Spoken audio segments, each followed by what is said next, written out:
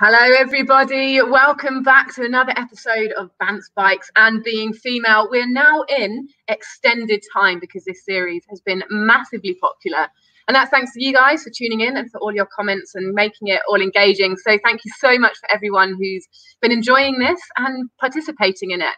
We're going now into more and more specific and deeper topics. And today we're covering pregnancy and cycling. So we're back again onto a topic that is female specific because those blokes can't get pregnant. I had a conversation about that this morning. That is what makes it female specific. But obviously, the guys are welcome as well if they know somebody who's pregnant or they ride with people who are pregnant or have gone through it.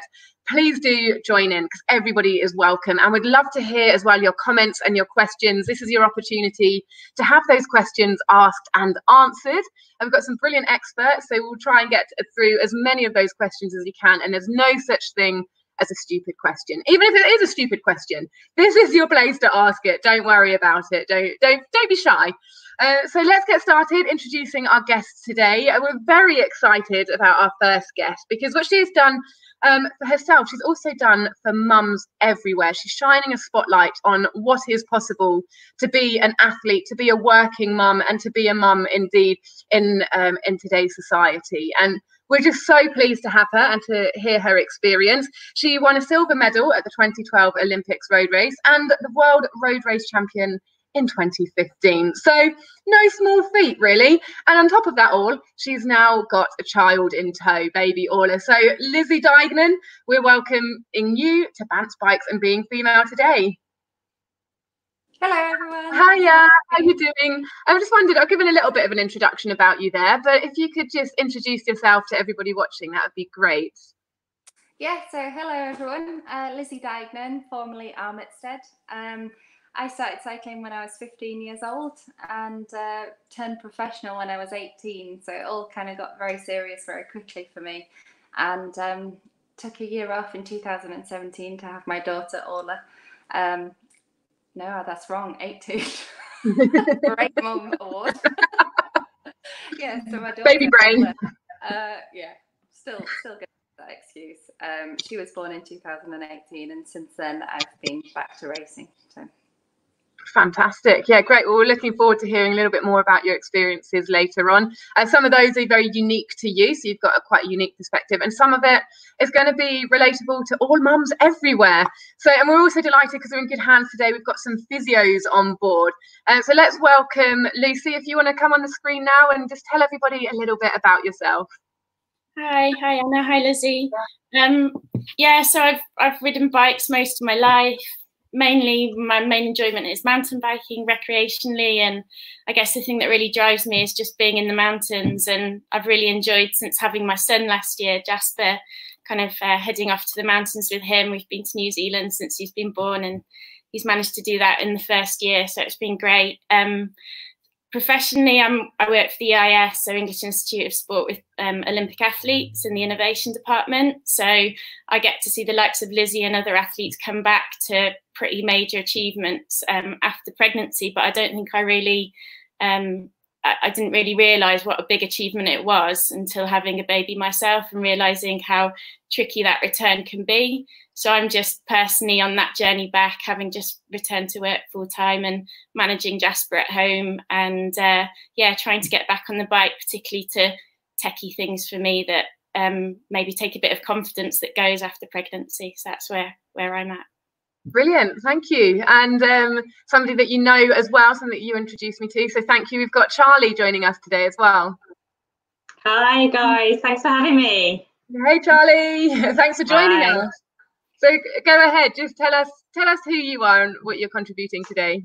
Yeah, um, I'm one half of Fit for Physio based in Sheffield. So professionally, I'm um, a physiotherapist, uh, working with people um, desperate to achieve their goals, whatever that may be. But in particular, my main passion is working with women, um, runners and cyclists mainly. But it's working with them um, either through their um, pregnancy journey, helping them achieve their goals during pregnancy and beyond, but most importantly, um, empowering them to continue to exercise safely but also confidently. Uh, and personally, I'm a recreational road cyclist as well, um, but very much a runner turned cyclist, um, and then running after two small boys myself as well. So this is a welcome break. full on, full on. Brilliant. And our final guest today has been here before. We've got Caz Nicklin. Hello, everybody. Hey. Hi. My name's Kaz, and I run Cycle Chic, and we sell stylish cycling accessories, helmets, and bags. And our mission really is to try and encourage more women to cycle, try and break down some of those barriers that prevent women from cycling, um, and just, you know, get more ladies on bikes. Um, and I have two children. Uh, I have an, two girls, an 11 year old and a two, nearly three year old. Um, and I cycled through my pregnancies, and I'm a champion really of cycling whilst pregnant. I'm not a hardcore cyclist like Lizzie and perhaps some of the other people. I'm a bit of a poopler. I'm kind of to work, to the shops, to do the school run. But I actually found cycling really amazing for keeping my exercise up while I was pregnant and taking the weight off my knees and my hips. Cycling was easier than walking. So, uh, so yeah, so that's kind of me, really. Brilliant. And you know a lot about cycle clothing and you sell some sort of lovely, stylish clothing that doesn't really look like lycra, like cycling kit on your website. So cycle clothing is quite a niche thing. Maternity clothing is quite a niche thing. Is there mm-hmm. anything out there that combines the two? We're going down like this funnel here, which just gets smaller. That's a good question. I don't know, but what I would say is that maternity wear tends to be quite stretchy and I find that I often cycle in things that are quite stretchy. I'll often wear like a, you know, a, dre- a, a dress, but that's really elasticated. So, and I have to say, when I when I was pregnant, I didn't buy much maternity clothes, and I don't wear cycle specific clothes. I wear my own clothes. So I think actually the two can go hand in hand. If you have a nice kind of flexible dress to accommodate the bump, it's probably quite comfy to cycle in. Cool. It, actually, this is quite an interesting topic, clothing. This wasn't one that I was massively delving into. But thinking about it now, you know, like bib shorts and things like that, bib shorts over a bump. The one, so when we say bib shorts, we're talking the ones with the sort of like sleeves um, that come over your arms and things like that. Did any of you wear that sort of cycle specific clothing during pregnancy? So, Lizzie, go ahead. Uh, yeah, so I wore it every day because I trained well, I would say I exercised on the bike every day pretty much until my daughter was born. But to be honest, it's one of those things like even maternity clothing, I think you have to try it on. Like I bought so many things in the beginning that just didn't work. Like I think maternity clothing assumes that you're going to grow boobs as well as a bump, which I never did. so um, anyway, so yeah, I carried on wearing cycling kit, but I just wore a bigger size um, than before, and it was fine for me. So. Okay, and what? Anybody else? Yeah, Lucy. Oh, I have to be honest, I looked totally ridiculous by the end. So I, I rode till the day before I had Jasper. So I was 40 weeks and four days. And uh, I just looked like I had a massive beer belly and extra large shorts on and a top that wouldn't cover the bump. But I think at that point, I no longer cared. it was just about being out and and, and enjoying it. Um, and the extra large shorts worked pretty well. But I think you're right. There's definitely a niche area there for people to look more stylish than I did by the end of my pregnancy. It couldn't get more niche than that, really. Maternity specific, cycle specific clothing for different weathers and different disciplines of bikes. I think we're getting into quite a small market. it is a little bit. Um, so I want to talk a little bit about role models because Lizzie, you are somebody who's found yourself in a position of being a role model um, for various reasons throughout your career. You know, first of all, just being an incredibly successful cyclist, and then for being an athlete and a mum. Uh, but what about when you were pregnant? Did you look around for role models of women who'd been in a similar position to you, and could you find any? I was constantly on Google, yeah. or just like hashtagging on Instagram, like athlete mum, just desperately searching for other women who had done it before me. And there are um, definitely more and more as well. But um, in terms of specific information about what those athletes were doing during their pregnancy. It was really hard to find because a lot of it's quite personal um, and you, you, know especially if you're a first time mum you don't even know yourself if what you're doing is right so i found um, the way i did it was i didn't want to share too much either because I didn't know if what I was doing was right or wrong, or whatever. And mm. um, it was more just the inspiration of the women who'd done it, like come back to their sport and proven that it was possible. So obviously in cycling there was Sarah Storey and Laura Kenny and um, and then like from an endurance perspective, I was looking at people like Paula Radcliffe who ran the marathon six months postpartum and stuff like that. So I was I was yeah, I was on Google a lot. and so when you were looking at them, and I guess a couple of those people would be friends as well, people that you could specifically talk to or actually talk to as opposed to just googling them but when you're looking at them did you actually get tips and advice or did it just make you think okay they've done it so i can do it too even if i don't know how uh, no, there was definitely areas of specific advice, like Sarah's Storey breastfed both of her children, and that was something that I was really keen to be able to do with my daughter. Um, but just the technicality of being able to leave Orla and pump milk and all these things are just mind-boggling to a first-time mum, and um, she was brilliant at helping me with that because there's all these myths of like you'll have lactic acid in your breast milk and all these silly old lifestyles that just weren't true. And I was really able to feel comfortable and, and confident about breastfeeding because of the advice that Sarah had. Excellent. And Charlie, you must come um, across some of these myths that Lizzie has mentioned there in your practice. Yeah. What sort of things, when we're talking specifically about mums that want to continue being athletes um, through, during, and after their pregnancy, so what sort of things come up? Oh, absolutely. I mean, just being pregnant itself is confusing itself. There's so much conflicting information out there, and you can Google anything, like like Lizzie says, and, and find what you want to hear or what you don't want to hear. So, um, with exercising, it, it is good that there is some really good guidelines out there in terms of exercising during pregnancy. But yeah, you're absolutely right in terms of like Lizzie was saying, um, like sports bras. Uh, I mean, Caz, there are very few sports bras out there that will allow you to breastfeed. okay, so little things like that, that that people will say, you know, how can I feed but also ride my bike? Little things like that. But um, you know, right the way through to the comfort of getting back onto a bike after you've had a baby. You know, little things like that that people will constantly be asking my personal and professional opinion about. And are there any back on the clothing thing? Are, are there any sports bras or kits that have made or that you have discovered, any of you, that have made um, post birth easier, so breastfeeding and things like that? Anything that you can recommend to anybody who might be watching who's new in that experience? Charlie, have you come across anything?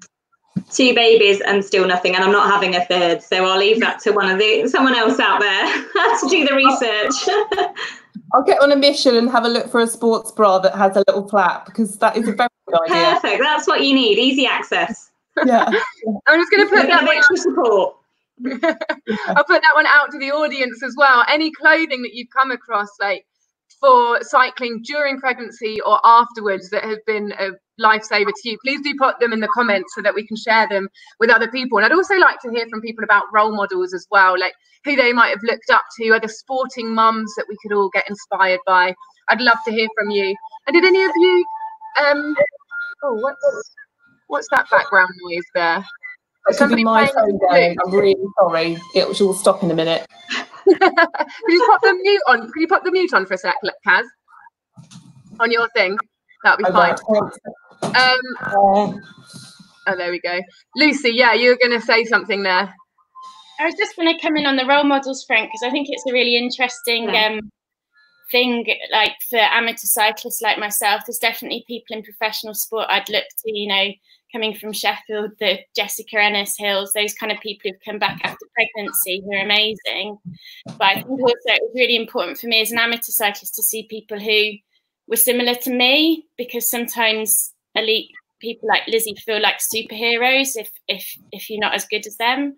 And, and uh, there was definitely it was important to have a network around me of people who made cycling okay during pregnancy and also reduced any judgment that people, well-meaning people might place on you for cycling for as long as you do through pregnancy. So I think that was really, I think for people out there who are thinking about cycling in pregnancy, to have supportive people around you who um, you know other women that cycle through pregnancy do the type of cycling you do that that's super important as well as looking up to the people who are right at the top of the tree in terms of competition and kind of gives you confidence that it's okay for you that topic of judgment is i think a really important one and one that i definitely wanted to spend some time on today um, because people have all sorts of different opinions and i can imagine I don't know what sort did you would you ever come across comments where people were saying that you shouldn't be cycling or yeah, go on, Caz.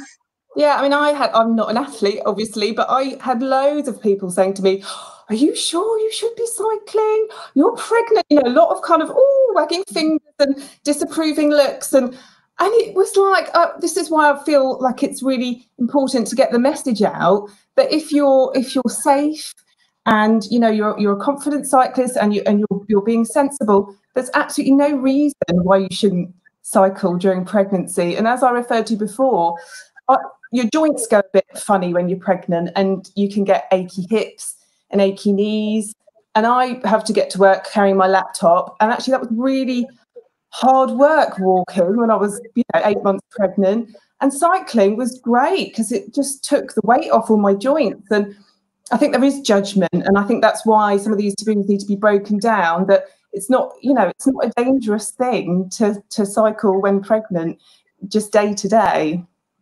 And Lizzie, did you feel pressure? You know, you said that you didn't necessarily want to share too much of your pregnancy journey with people because you feel like with that judgment mindset that you, as someone who's quite in the public eye, might might be open to criticism and judgment if you're saying I'm doing it like this were you very wary about what you put out or did you feel strongly that you did want to put out a certain message um no i think i was very aware just because of the women that have been around me that i've been around women that haven't had straightforward pregnancies so i was never uh I've always, I was kind of risk averse as, as well. I understand that it's everybody's choice and it depends on your instincts, but I definitely didn't want to portray that it was kind of that I was throwing caution to the wind and that it was I was still really focused on being an athlete because I wasn't. My main focus was on my health and the baby's health. And as a professional athlete, I was doing way more than most women, and I didn't have a nine to five job. My my I was still paid as a professional athlete while I was on maternity. So I was able to do two hours on the bike, but I spent the rest of the day on the sofa. And I didn't want people who are trying to hold down a job trying to do two hours and then, you know, being totally flawed because it was exhausting. I was on my knees during pregnancy. I found it incredibly difficult. And I didn't want to portray this this to people who had, you know, normal lives who didn't have the luxury of the recovery that I had and the nutrition and all those things. So I didn't want to put pressure on pregnant women to kind of do what I was doing because what I was doing was not realistic for a normal person who has two other children or whatever, you know. So I was just a bit wary of not putting pressure on other women, I suppose.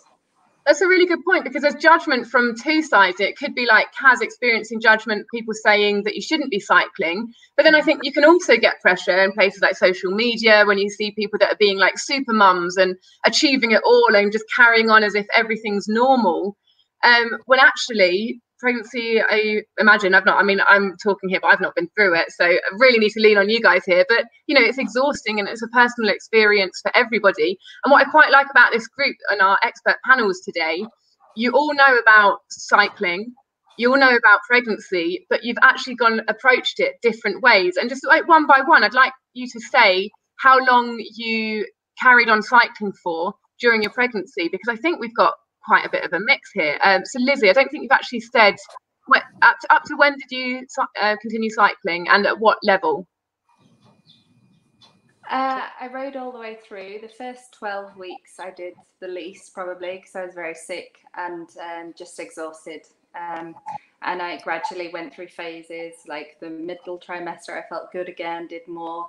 Last trimester, you're just getting bigger and tired again. So um, I rode up until three days before Orla was born. Um, but yeah. Your choice, yeah. What about you, Lucy? Um, so I was really lucky, and it's totally personal. I had a really lovely pregnancy, so I rode all the way through. But from about week 28, I was on an e-bike. I just found that pushing up the hills around Sheffield got a bit much for me, and there was a single incident that made me think, do you know what, like let's stay safe here. And so the e-bike was the right option to take until, yeah, 40 weeks. And you're you're quite into the off-roading side of things. Um, was there a risk aversion as well that you considered? Um, yeah, for sure. Like the trails I rode weren't the ones I'd go back and ride now.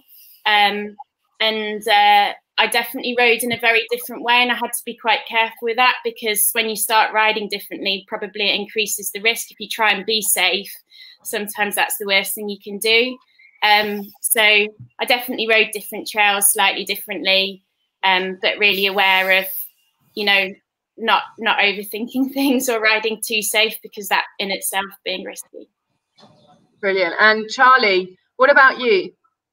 Yeah, so I've got a completely different story to everyone else. So um, I'm a very much a runner turned cyclist. So I didn't cycle through either of my pregnancies purely because I fell pregnant um, about a month after buying my first ever road bike back in 2015.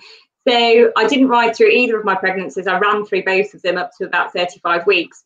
Um, but um, I got I, probably, I could probably add a little bit more about returning to getting on the bike. Um, but certainly for me, and that was very much because I didn't feel like I had the handling skills. I didn't feel like I had the technical skills, which um, I think you need. I think if you can, you've got that the bike handling skills, you much um, you lower your risk of obviously any injury, any trauma, which is where I think you know for, for Lucy, Lizzie, Caz, you know, if you've got that confidence and that experience behind you, then absolutely there's no reason to, if you've got a straightforward pregnancy, why you can't power on through that pregnancy.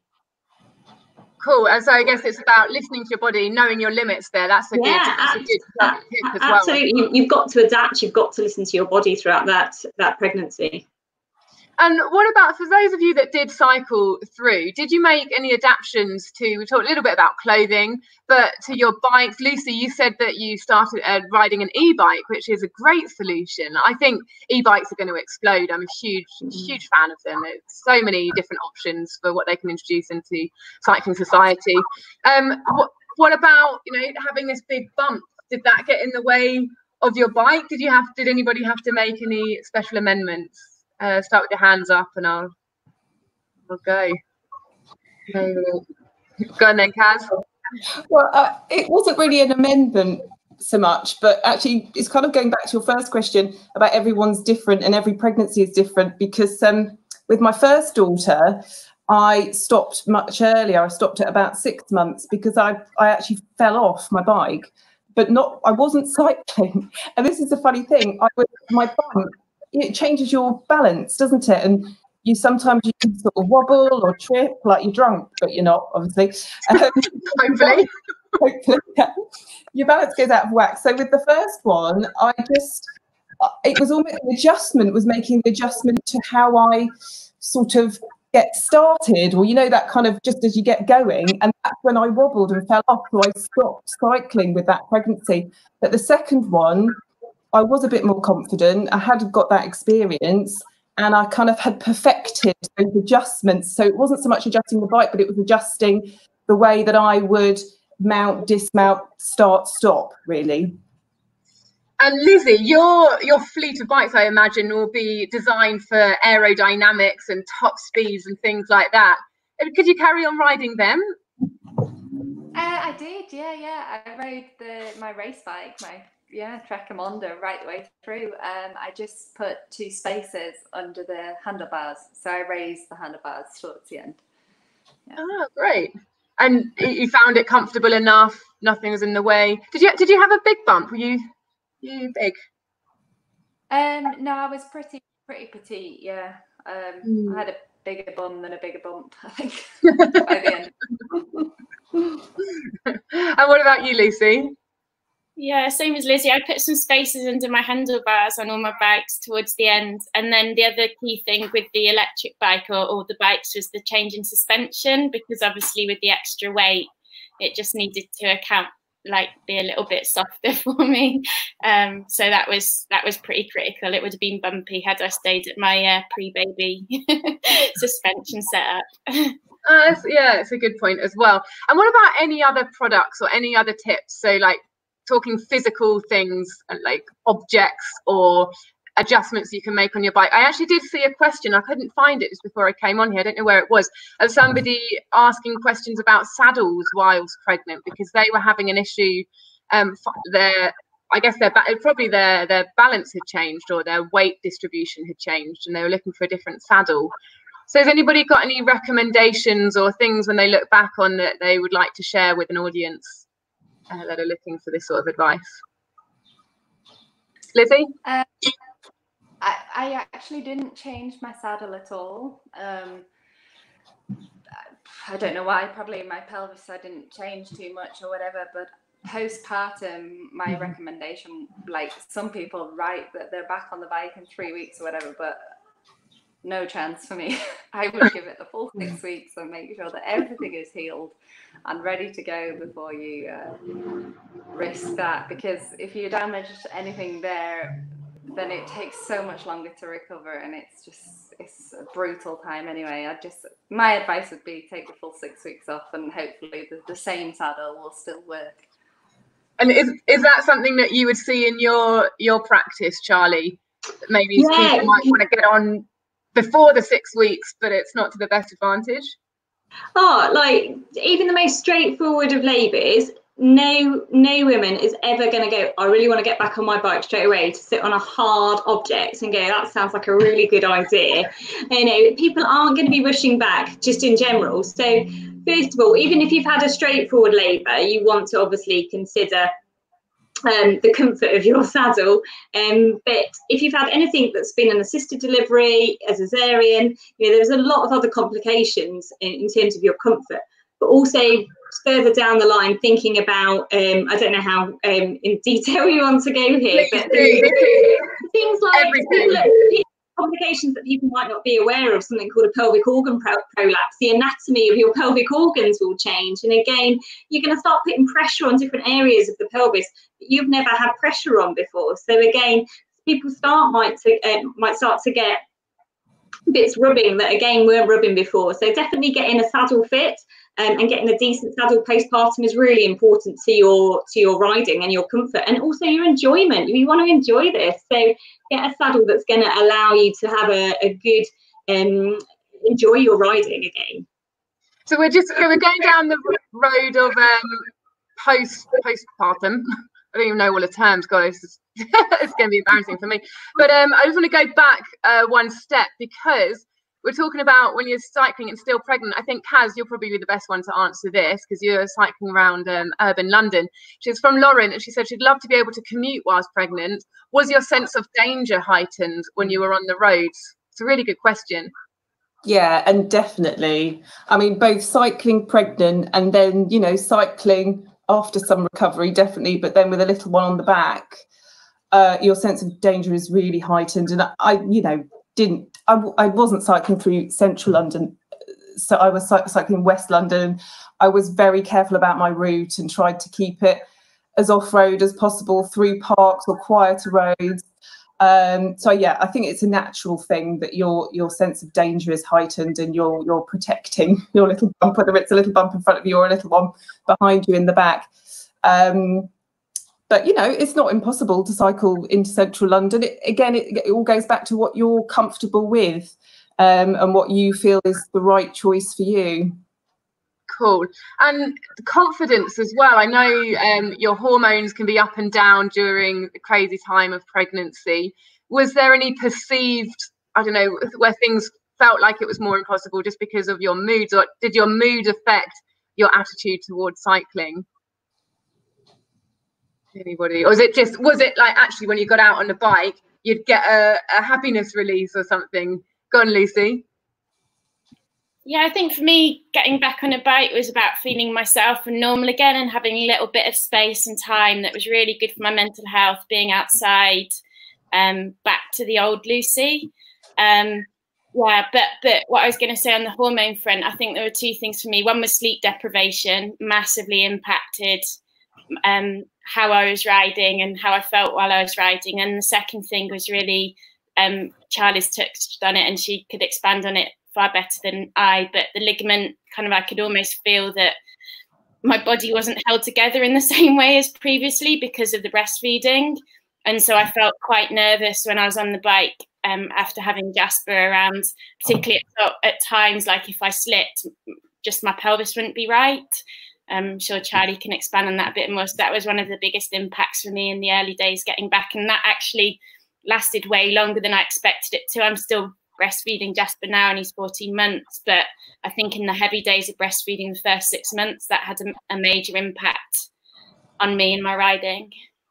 Cool, Charlie. Yeah, do you want to expand on that then? That's really interesting. Yeah, there's there's two really key factors there that Lucy's picked up on. So first of all, when you're breastfeeding, um, you you have a relaxin hormone, which is great when it's preparing you for labour because it allows the ligaments of the pelvis to obviously facilitate that birth. But postnatally, you have a massive you you have no estrogen in your body, which again um, again supports a lot of your ligaments. So you've got to relax relaxin, you've got no estrogen. So essentially, all your joints are fairly relaxed. Okay, so again, particularly around the pelvis, the knees, the hips, you haven't got that stability. So you are very much at risk of injury, which is why it's really important to work with um, a physio postnatally if you want to get a, a really strong core but also tiredness as well is a massive indicator in terms of your risk of injury. So we know that a huge sort of from a holistic point of view, rather than sort of a musculoskeletal physical point of view, um, sleep, you need those eight hours, which you, you've got no chance of getting that postnatally. So if you're going to think about riding, you need to have some sleep in the bank, else you, again, your injury risk is already fairly high, and then we're going to add sleep deprivation to that, and then we're going to get back on a bike. So again, the ad, the odds aren't really stacking in our favour here. So there's quite a lot of factors that we need to sort of address before we think about getting back on the bike.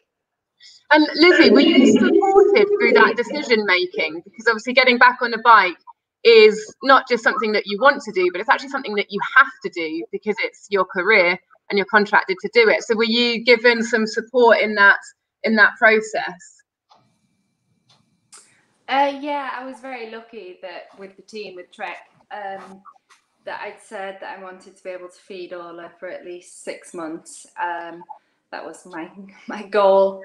Um, and then I wanted to be able to return to racing nine months postpartum. I ended up actually returning seven months postpartum, um, but they were brilliant in terms of not um, making me go to training camps in the winter, trusting me to do it at home so that I could continue to feed Orla etc. So it it definitely, for me, in my situation, I needed an employer that was flexible and understood and trusted me to do my job.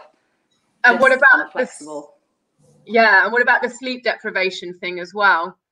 Uh, making sure that you get those in. I mean, that must be hard. Uh, I was, um, I was a crazy lady, I think, because I I was so focused on my daughter getting enough sleep during the day, I got obsessed with her nap times and her awake times and all these things. And my mum and my sister were totally different to me in their approach to bringing up a little one and just really relaxed. I remember whenever I'd like let my mum look after her or my sister, I'd be like, how long she been awake for? When was her last nap? And I'd be straight on them because all of those naps add up to this good sleep.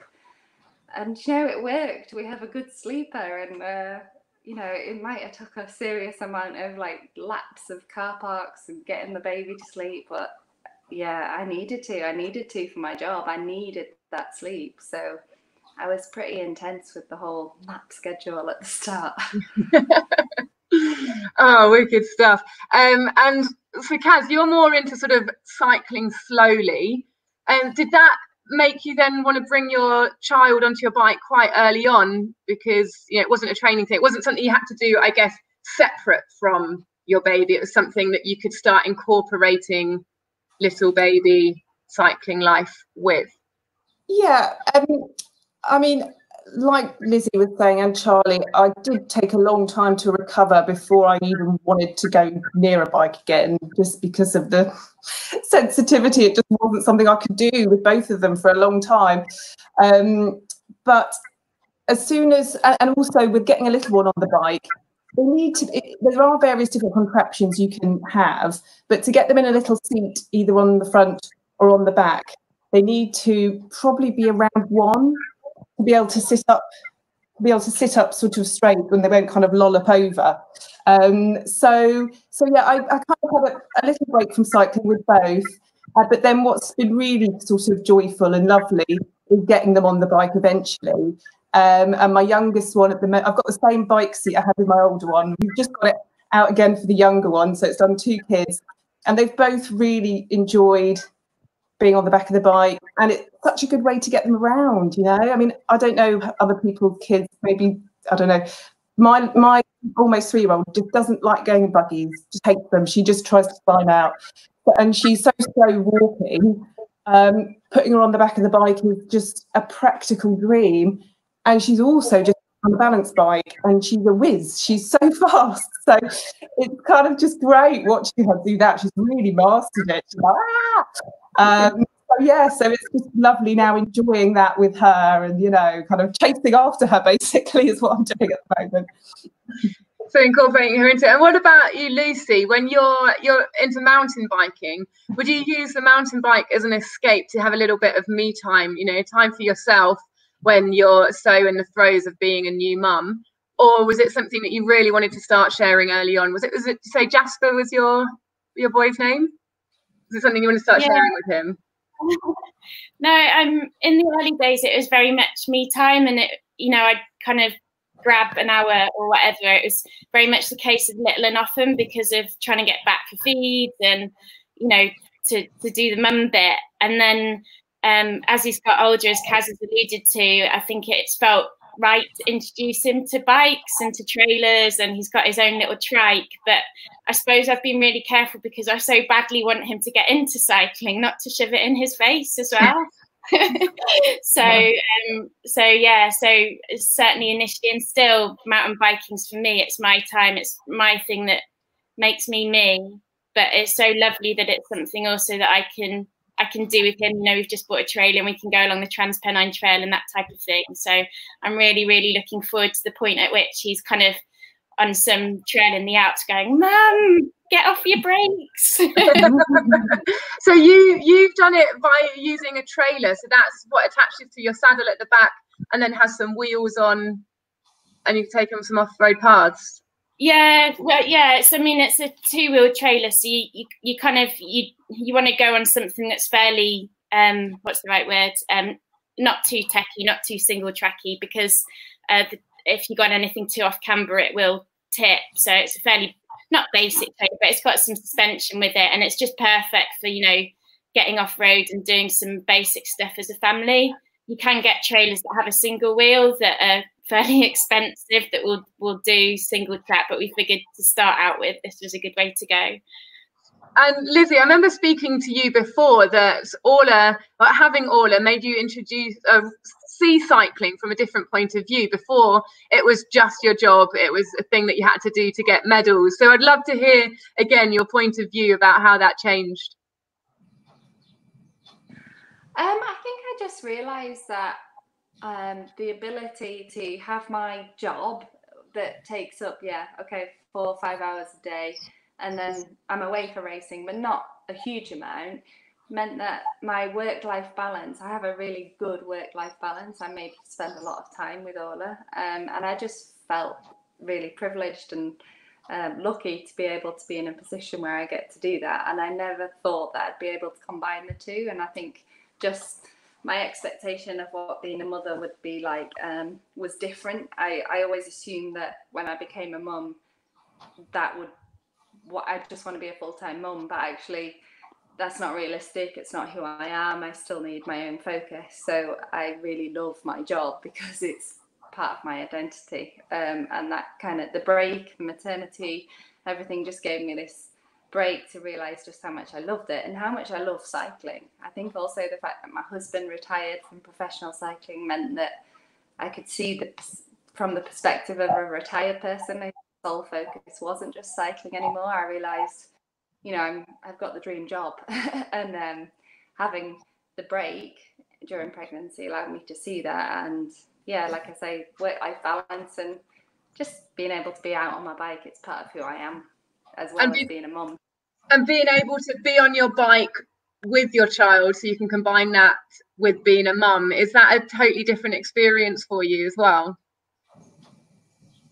Yeah, it's quite funny. Orla absolutely loves bikes because she sees me go out on it every day, I suppose, and sees her dad on his bike a lot. And she's just fascinated by them and loves to be either on the front or on the back. She prefers to be on the front. We have two seats, so she's she's spoiled already. Yeah. so there's different seat types. We've just had a link at the bottom there. So for anyone watching this, we've covered front seats, which go on sort of just on the top tube and the handlebars, like the let go of the handlebars. I think um, you, you can correct me if I'm wrong in a, in a sec. Uh, back seats and also trailers. And um, you can also get cargo bikes where you have like a sort of wheelbarrow type thing at the front of your bike. Um, so, Caz, what do you use? Um, I'm just seeing if you can see. I did bring my child's seat yeah, here. Yeah, I think the, the sort of see. Yeah, so, yeah, got that.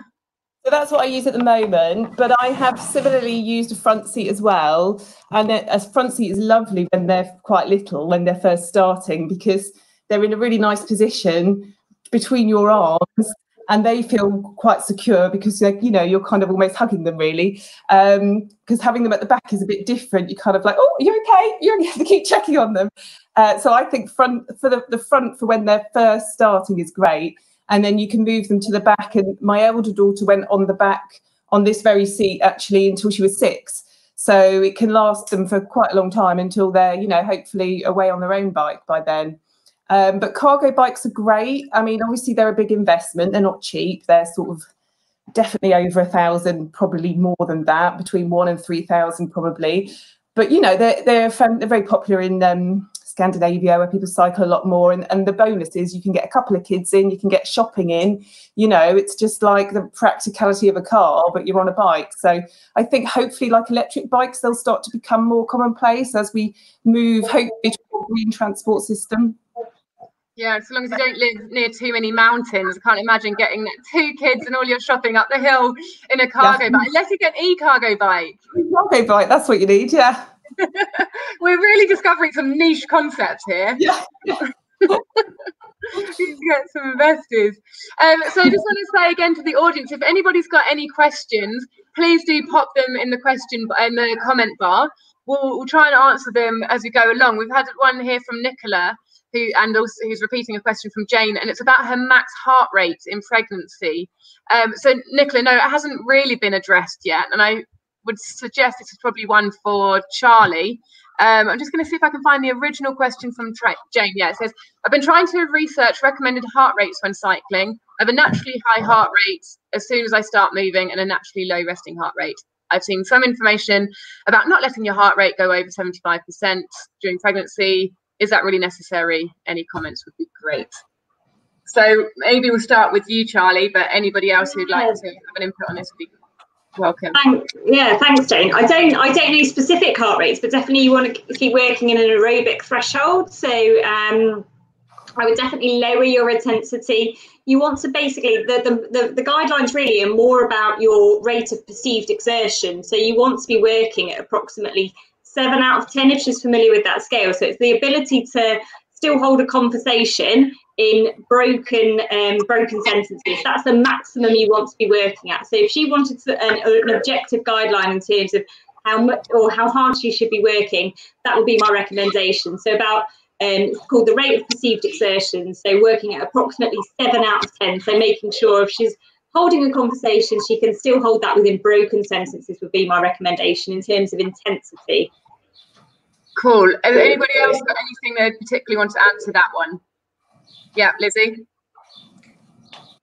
Um, I would just say also be aware of the fact that temperature is really important, especially at the moment with these kind of freak heat waves in the UK. Um, I I was living in France at the time of my pregnancy, and there were times where I just couldn't go outside because it was too hot, um, and that's something that you need to be very careful of overheating.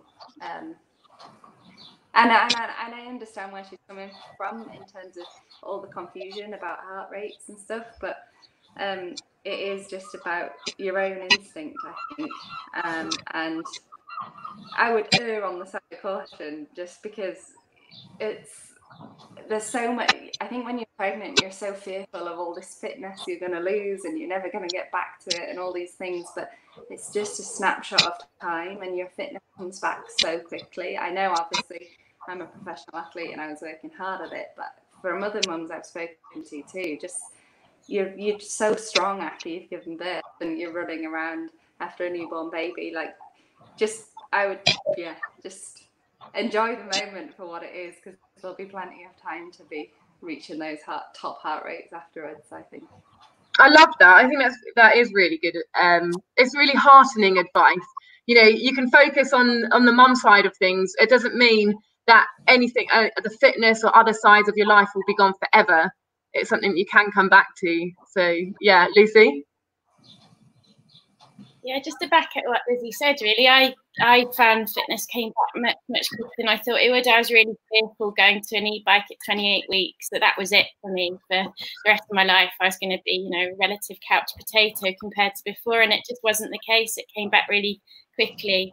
And the other thing I'd say is very, very much go with how you feel. So I found that what I could do varied so much during the pregnancy and being dialed into kind of how you're feeling and that rate of perceived exertion that Charlie's talked about is pretty critical for knowing when to say, okay, I did this ride last week, but this week, do you know what? I feel terrible doing it, or I can feel my heart rate's really high. I can't talk at the hill. Just, just, you know, just go home on that occasion, and you, you, you will find the next week it's a totally different story. But I guess your body's just undergoing so much change at a relatively quick rate that um, just have to be quite sensitive to it. Would be my main advice. Cool. All right. Well, I think we can start wrapping it up there, really. Um, if anybody here's got any other comments they'd like to add, we're going to go. There's nothing like being put on the spot, is there? But we're going to go around to each one of you individually um, and ask you just to share something about cycling and pregnancy, whether it's a piece of advice that you got given that you'd love to share, or just a, a funny story, or a heartening story, or a topic that we've not covered um, that you would like to get mentioned. So, um, Caz, have you got anything off the top of your head? Um, just that I, I think it's totally up to the individual, and I think that was really interesting. We've all got quite different stories. Um, but something that I've found with my second pregnancy was that I did cycle right up until the day before I went into labour, and um, I think there's something that happens. I don't know if anyone else has experienced this, that you almost decide when you're ready to go into labour. And I've had this, actually, I've had this with both pregnancies. I've had something I had to get finished and get done, and they've been related to my business, so they've been related to cycling. I've had to do like a certain thing that I've had to finish. And with both both times, I've like, yes, I've finished that job, I've done it, and I went into labour the next day. I don't know if that's a cycling anecdote or what. it's something about being mentally prepared. But no, I think my point is that actually keeping active and keeping busy can help you kind of get to labour on time. I love it. It's wild. Right, um, we're going to come back to these little stories in a sec, but we've got a question here that I'd like uh, to get, get the opportunity to have answered. Uh, Judith has said that she's recently bought a tag along for her four year old and she's nervous about road cycling. She's not cycled for a number of years. So, can you recommend the best way they can both enjoy cycling together? Um, who wants to answer that one?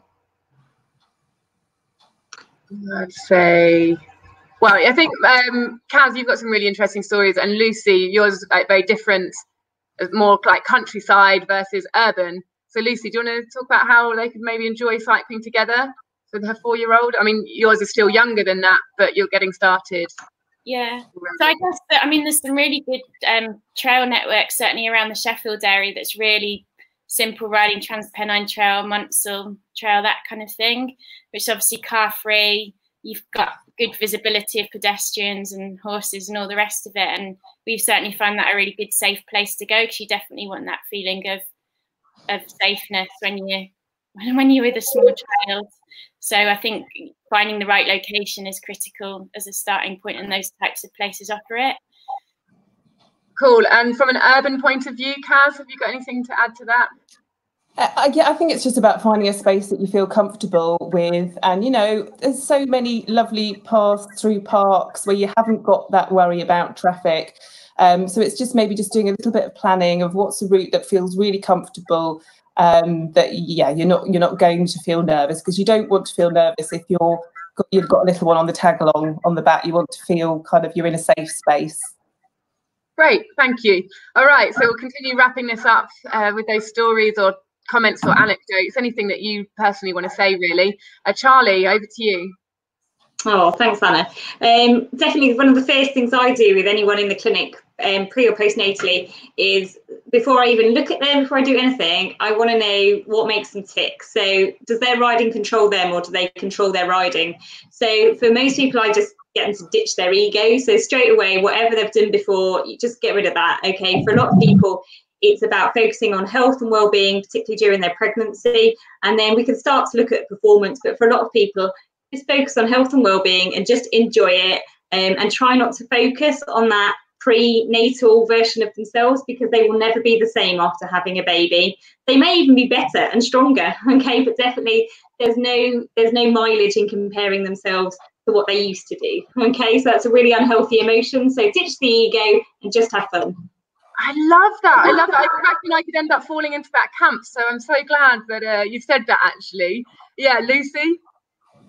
Yeah, I'm going to build on Charlie's point. I definitely fell into that camp, and it was actually um, I had a cesarean section, and I think I expected myself at four weeks to get up and just continue life with a new baby. And so I, it made a huge difference for me going into Charlie and talking to her. And I remember that first session vividly going in, having had no sleep, and I think I'd just been up for a quite a long bike ride, I just thought, I'm just going to get up and do it, which probably wasn't the best thing to do in retrospect. And having someone who almost gave you permission to just go, stop, it's fine after pregnancy, to give yourself a little time to recover and to not have the expectations of yourself that you had pre pregnancy. Now you've got this little one. So, uh, yeah, that would be my main reflection.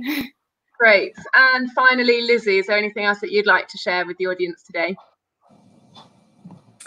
Uh, just I think try to avoid comparisons like postpartum, prepartum. Um, everything, every pregnancy is different. Every baby's different. Uh, you know, I was lucky that Orla you know fed well and slept relatively well, etc. So it meant I was able to get out on the bike. And I know other mothers, you know, a friend of mine at the baby club, her son had colic, and she was just in pieces and no chance was going on a bike or getting back to exercise her priority. But I think everything just feels quite overwhelming and emotional when you're pregnant or when you've just had a baby, and it's just remembering that it's temporary um, and it gets so much easier. Is my advice. Brilliant, cool. Um, just going to kind of wrap it up there, but actually we had one more sneaky question in saying, did you find the healthcare sector supportive, neutral, or skeptical? So I guess about you know continuing to cycle whilst pregnant. What is there an official line that seems to come from the NHS or the healthcare? Yeah. That, Do you yeah. want me? Oh. Yes, please, Charlie. Basically, if you're a cyclist, don't Google "Can I cycle during my pregnancy?" NCT or NHS because they will say no. Okay, so don't do that. Um, but if you do look at the chief medical officer's advice for um, exercise during pregnancy, actually, it's very supportive um, of moderate intensity exercise during pregnancy. And in fact, it encourages it. It basically lists a huge amounts of benefits for cycling during pregnancy or for exercising during pregnancy. But I would just check with your GP and your midwife just because cycling does fall into that high risk category.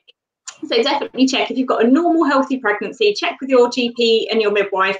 But there's no reason why you couldn't continue to cycle during pregnancy if you're already cycling. Fantastic. Thank you. All right. Well, thank you so much for taking the time out today. It's been fascinating and uh, hopefully, you never know, um, I'll have picked up some tips for the future as well. And anybody who's asked some questions, just want to let you know that in the audience, loads of people have been answering each other's questions in the audience chats as well. So um, just make sure that you check out those comments there. Thank you to our guests, Caz, Lizzie, Lucy, and Charlie. Really appreciated your time today. This has been put on by Charity Cycling UK to get information out to women who are starting cycling, bridge that gender gap in cycling because it's unnecessary. And if you want to get more tips and information, you can join the Cycling UK Women's newsletter. So we'll put the link for that in the comments. And uh, just to let you know as well, it's a Women's Festival of Cycling coming up in a couple of weeks' time. So stay tuned on the Women's Cycling Cycling UK page. Until next week, uh, we're going to be talking about cycling and menopause. So going going the other end of the spectrum next week. We'll see you and some new guests then. And to our guests for today, thank you. See you later. Bye, everyone. Bye. Bye.